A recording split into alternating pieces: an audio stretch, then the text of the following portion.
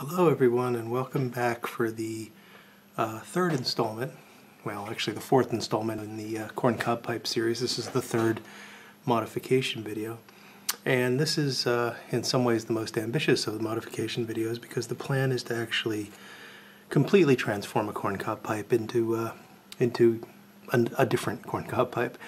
Uh, to, to really personalize it, make it something uh, very different. Maybe, you know, you could argue maybe something a bit more uh, interesting. Certainly won't be smoking any better than it already does because these pipes uh, smoke just fine. But, uh, you know, just give it a bit of uh, a bit of an upgrade. So to do that, I had originally planned on on using this uh, this pipe that I showed you back in the first video, which was just sort of an introduction to, to the pipes. And I had at the time misidentified this. I think I, I said it, I, I, did say it was a Mark Twain, and um, a stay-at-home piper actually corrected me on that, and I really appreciate him uh, him doing so. Uh, he, he, pointed out this is this is actually a Rob Roy shape, and the Mark Twain is actually much bigger than this. Um, and I've confirmed that. In fact, this is uh, a Rob Roy from, uh, or appears to be a Rob Roy from the uh, from the Missouri Meerschaum Legends series. Uh, now, it is a second, so it could be something that you know was you know differently shaped, and this is the shape that they felt they were able to sell it as a second. Um, so it may, it may, not even have been intended to be a Rob Roy, but at any rate, the, the point is uh, this is a this is a small, relatively small bowl. And for the pipe that I want to make out of this, I, I don't think that this is really the, the best option at this point. So I've changed my mind. I'm I'm not actually going to do anything with this pipe. Uh, instead, I have an old, not terribly old, but a, but a, a previously smoked uh, uh, country gentleman. And I've told you I have several of these. This isn't one of the ones I've shown you previously, um, and I've actually already started to do some work on this. I like this one because the shank on this guy is actually fairly straight. And what I would like to um, to do is a um, an interpretation of a sort of nose warmer poker, you know, one of these stubby little pokers that are so popular these days but try to do that in uh, from from a corncob pipe. In this case, starting with a country gentleman, and I'll paste a picture in here for you to see the the pipe that's actually uh, going to be the inspiration behind what I'm trying to do. Now, uh, I'm not going to make exactly this pipe, but uh, I, I, looked through a lot of different images on Google. I think I searched stubby poker, and, and this is one that that struck me as being you know relatively amenable to to uh, a corncob modification in terms of its shape, and also it's one of these more popular shapes. Um, so what I'm going to do is I'm using this picture sort of to try and scale, uh, because you know we, we don't have exactly the same size here. But one of the real distinctive features of this style is that sort of thick shank coming out of a relatively squat and, and robust bowl. So I'm going to be doing quite a bit to this uh, to try to try to transform it into a pipe that is similar to this stubby poker. What I've done so far, um, and I've cheated a bit because I started, I wanted to make sure I had a bowl that I could uh, start this video with. Uh, it turns out, I told you it's difficult to get these stems out, but this was one that was uh, loosened just over time, and I was able to get it out fairly easily. Um, so this, this stem is, is no longer going to be used. We're going to make a, a new stem. Um, I also cleaned the bowl out quite a bit and actually uh, took a uh, Forstner bit and ran it down the center and I should uh, I should have noted the size of that bit and I did not. I'll try to remember to get that information in later in, in the video for you. Uh, but the Forstner bit was, was used to sort of, I, I, reamed it first to get the cake out, but then to sort of further ream it and just make sure that we were down to uh, just the, the, the pure bare cob there. So you can see this is very clean, you know, almost like an unsmoked bowl, even though this had been smoked. Uh, there's no insert, and if I can see if I can zoom in and get a better shot of the, the interior here for you, because I'd like you to see the very bottom of the bowl. Uh, it's all the way down to the to the bare hardwood plug there, and you can see that little dimple in the center. That's where the Forstner bit hit bottom. So there's this. This has been completely reamed out back to to cob and hardwood. So the plan is to take this bowl uh, and put a hardwood extension on the side, which will be the shank. Uh, I am going to initially put the shank all the way through and then we'll cut it off. Uh, we can mark it and cut it off uh, so that it's going to be like the, the the first country gentleman that I modified, where the shank will go through the wall, but it won't go into the tobacco chamber, and then we'll use pipe mud in the bottom to, to raise the chamber to its proper level. Um, it's going to be a wider shank, uh, so we'll have to do some countersinking in the, in the side of the cob here to make it fit. I'll use the same size shank passing through the wall, but we'll countersink this a bit for the larger diameter bit to, to sit in and just you know cosmetically look better. Uh, and then to that, we're going to actually fabricate a stem. And we're going to fabricate this in two parts. And I hope I haven't... There it is. So we're going to first off put a, um, a bit of a spacer. And we're going to make that spacer out of this uh, Delrin rod. And that will be sitting between the hardwood. And by the way, for the hardwood shank, I'm going to use a little bit of black walnut. Um, which is actually some local Pennsylvania walnut. Uh, so this will form the shank, not the scale. this will form a small uh, shank extension, and the reason I want to do that is I want to put a uh, I want to put the mortise into this piece of Delrin rather than into the to the wood, and then I'm going to make a bit, a short stubby bit, out of an acrylic blank, and this is just an acrylic pen blank uh, nothing fancy here. It's got a you know red swirled coloring, so it'll bring some some color interest to this, and I think it'll contrast nicely with the with the walnut when it's done. So um, yeah, this is this is a bit of a challenge. We're going to be doing a lot of turning in this video, and as I've told you previously, I'm not really set up to video the turning, so unfortunately you're going to just see a lot of cuts and then me saying this is what it looks like. But I will try to describe what I do at each step, and uh, hopefully. Uh, give you a, a good idea of, of, where we're going with this. So the first step then is going to be to turn to this piece of walnut and turn it into a shank for the pipe. And when I come back, I'll show you the, uh, the, the, the, finished shank and I'll give you all the dimensions and, and take you through the steps I took to, to generate it. So I'll be back soon. Okay folks, bringing you back for a quick update. So far we've done a little bit of lathe work here on the walnut.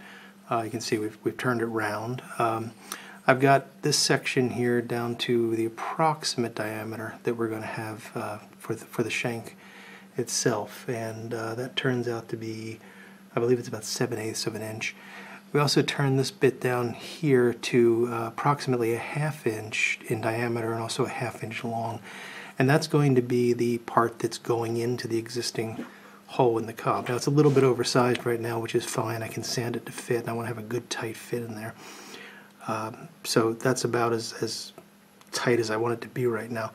Uh, but you can start to get the idea of what's going to happen here. So this is going to wind up slipping into that hole, butting up like so, and then we'll do a little bit of a recess in the cob that will accept the very ends of this and allow it to, to sort of mate up better so you don't see any gaps when, when the, the product is finished.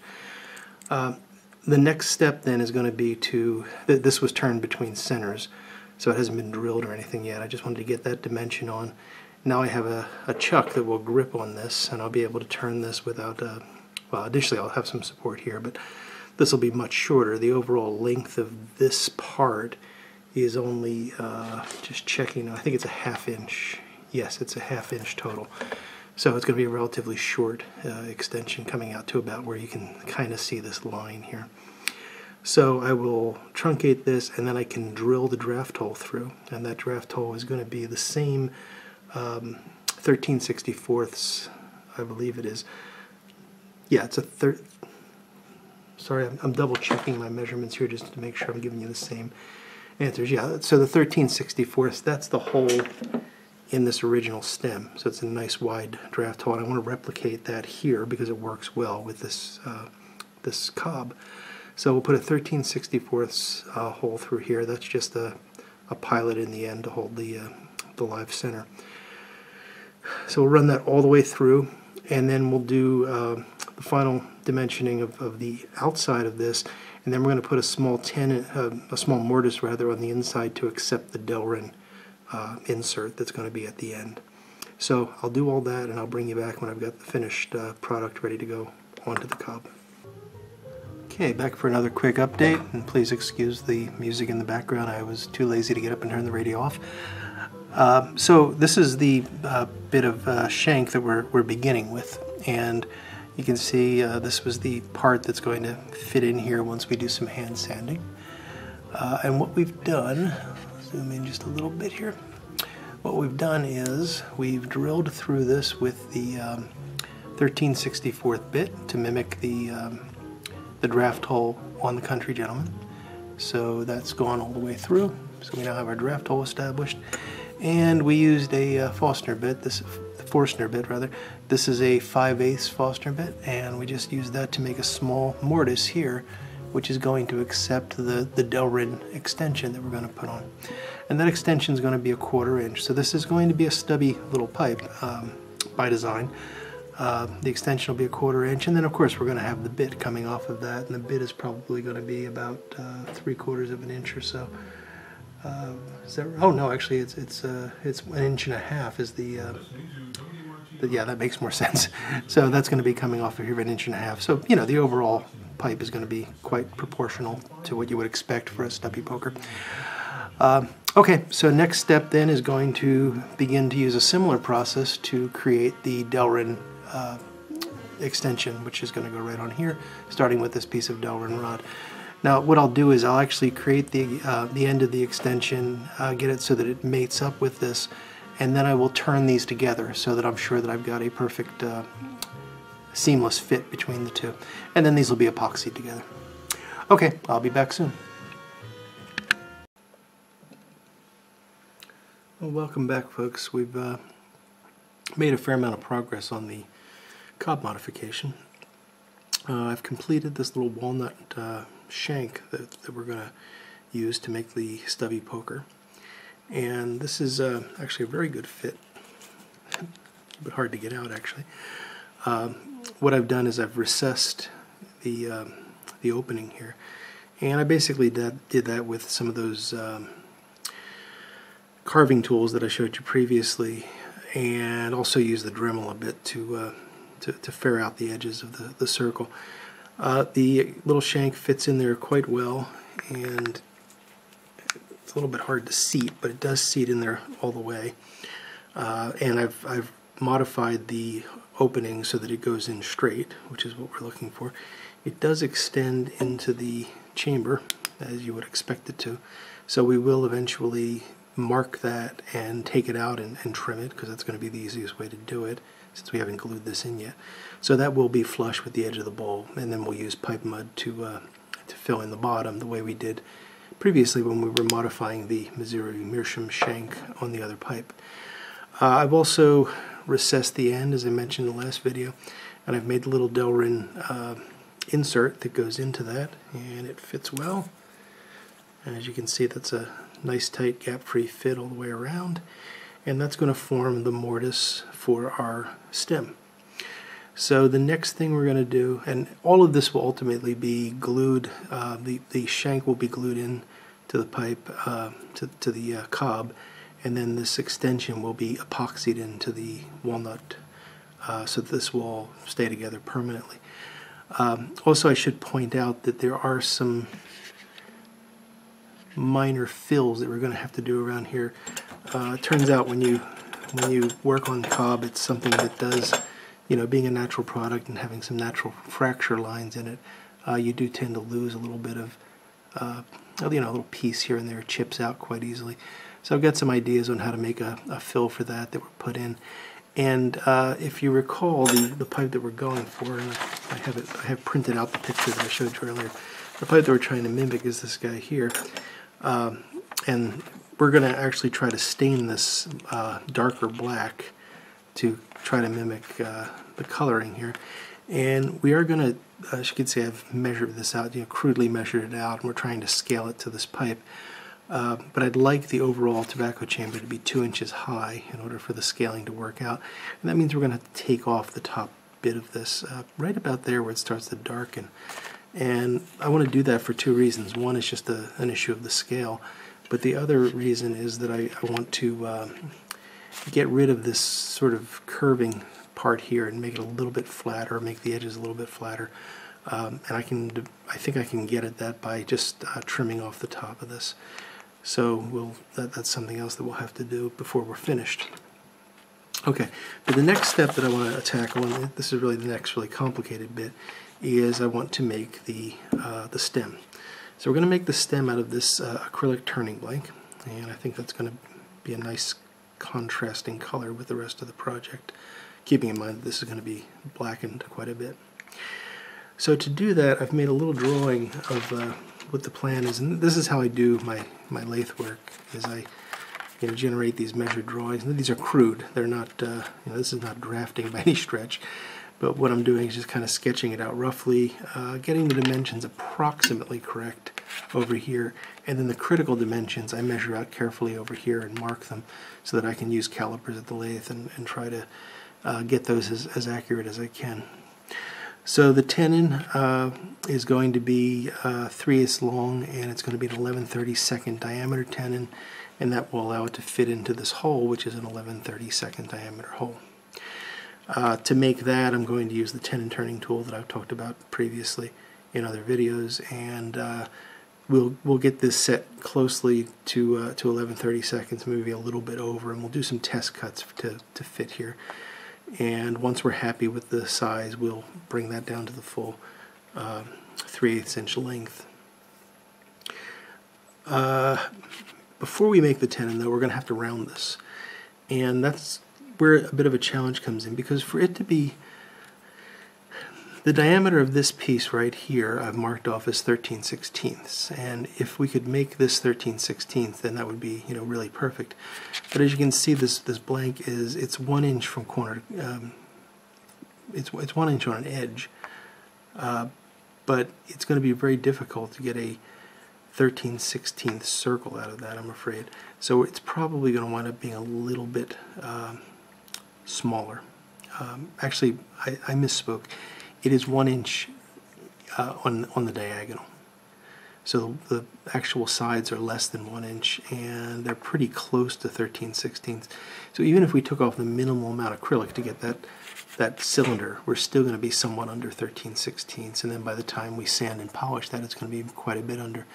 So what I might have to do is make a small step down to go from the Delrin to the stem itself and I may make that out of another piece of walnut just to sort of add a another visual element in there and to allow us to kind of gradually step down to the to the stem.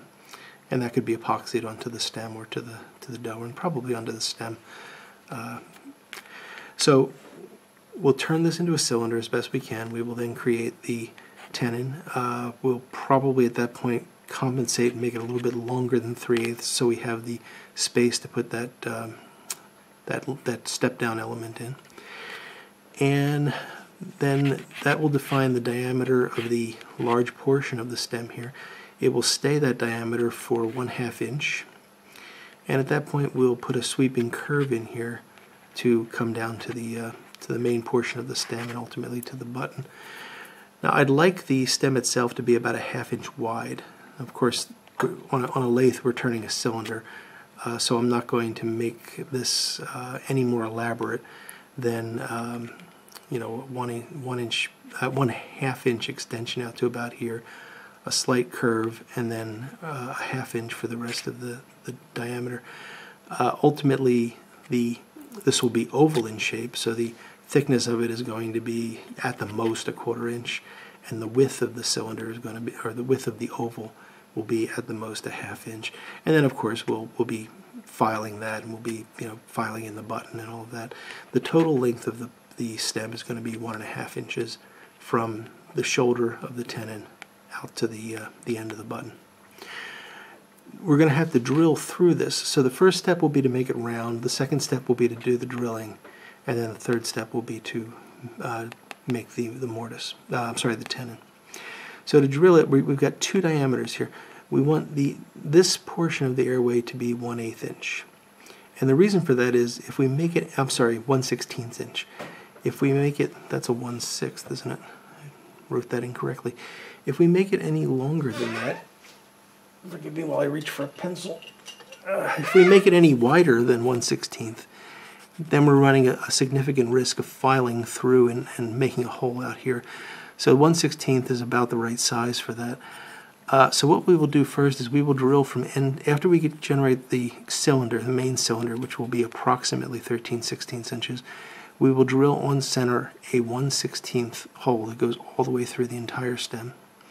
And then we will come back and re-drill that with a 1 8 inch bit that will only come in to this half inch point here.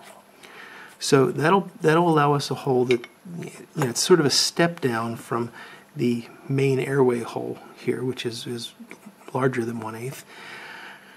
Um, but and and that'll make sure that the draft, uh, the the air pathway is not too wide open because we do want to have a little bit of restriction there, just so that we're not able to to get this burning ridiculously hot. Um, and and all pipes do that; they all have a step down in the stem.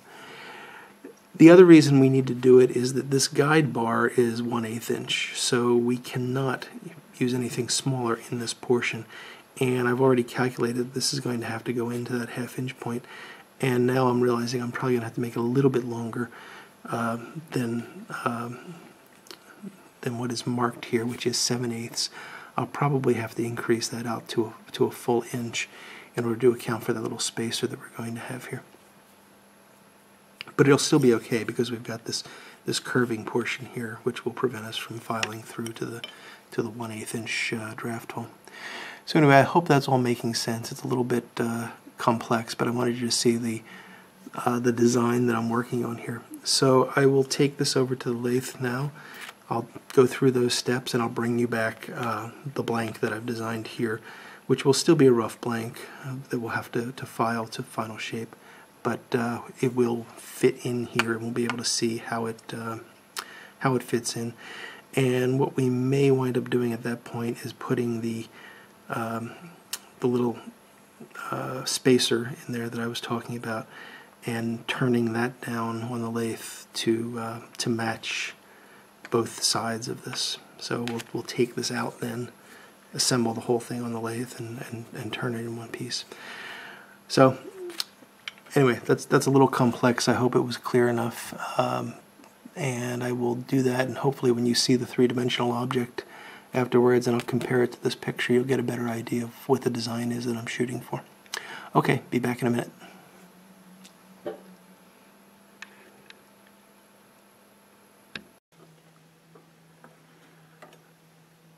Okay folks, quick update on where things stand right now with the uh, stubby poker conversion.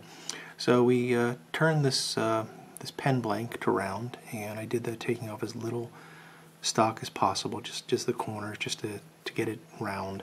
And as I, as I mentioned, it, it is a step down from the, um, from the shank that we made, and that was expected. And to fix that, I'm going to put a small detail in. Uh, this is a piece of uh, hard maple, which will just give a nice light contrasting uh, color in there, and I think it'll look good. So this is obviously not to final size. I've just got it set in there for now. Um, but we've got, so it's just a, a, disc of hard maple that's been cut and drilled to uh, easily accept the tenon. That will actually wind up being epoxied to the stem, so it'll become part of the stem that'll insert into the to the mortise here. the, the stem blank so far has been drilled through uh, 1 8 inch on this end, uh, I'm sorry, 1 16th inch on this end, which will be the um, where the button sits, and we'll widen that out in time. Uh, here down to right about here is has been drilled 1 8 inch, and uh, that's pretty standard and is necessary to accept that turning tool that I use to, to make the tenon. The fit into the Delrin mortise is good. Um, you know, it's good tight fit, friction fit. Delrin is nice because it's it's real easy to uh, take in and out. Obviously this has not been epoxied in place yet.